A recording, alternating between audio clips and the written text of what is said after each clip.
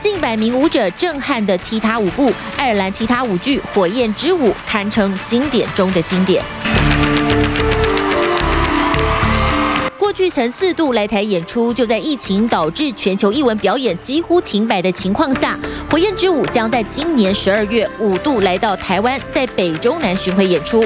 舞王麦克弗莱利以及女二主角安利亚帕普科伦也透过镜头向台湾的舞迷打招呼。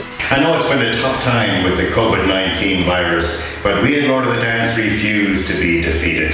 We will continue to follow our dreams. I'm really excited to share Feet of Flames with you in December and give hope to the people that the world is going to go back to normal. 这次来台湾演出对舞团来说意义非凡，虽然困难重重，需要完成各种检测和十四天的隔离，但想到能带给台湾观众最精彩的演出，就让团员们相当期待。记者台北综合报道。